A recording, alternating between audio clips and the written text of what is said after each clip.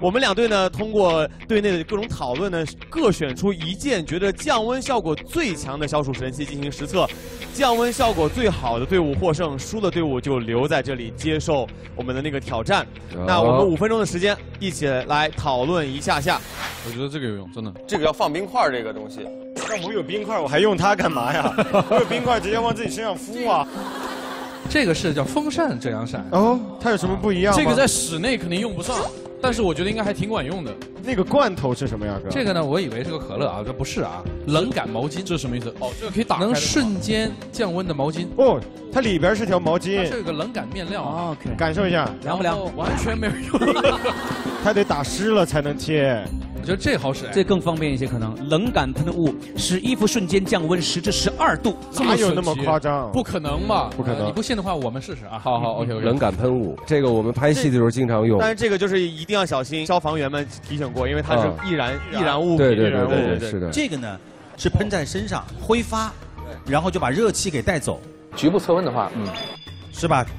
咱们得选个厉害的，我觉得这个不错。我觉得这应该可以，冰感项圈。哎，这个挺凉快的，是吗？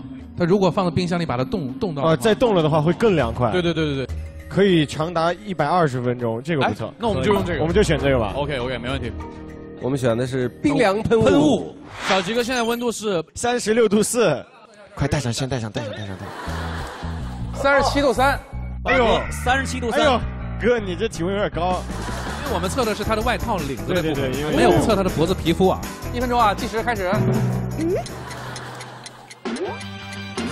一分钟，他们现在就喷，有点为时尚上早了。喷湿了，什么都不要想，保持冷静。怎么他们还有外力？我现在有点有点有点有点太不真实了。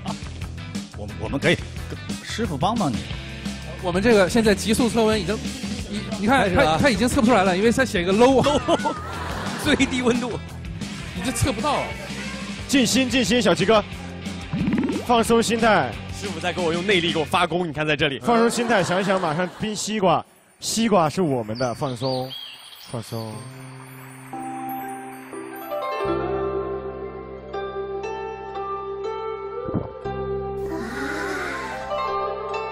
小齐哥，你应该表现出很冷，现在很冷。你现在在北极。完了，小齐哥凉着了，哎呦，冻着了。我们这个太厉害了。哎呦，小齐哥，给你加件衣服吧。外套外套都都有。好，准备，时间到。来啊，测一下啊。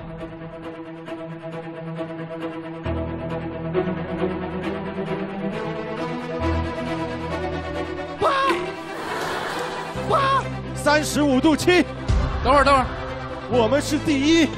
稍等，等会儿这测不出来了，你看 low 的，可能太冷了，我们这边。过于低了啊。哎。哎，二十九度三，耶！二十九度三，建议送医院。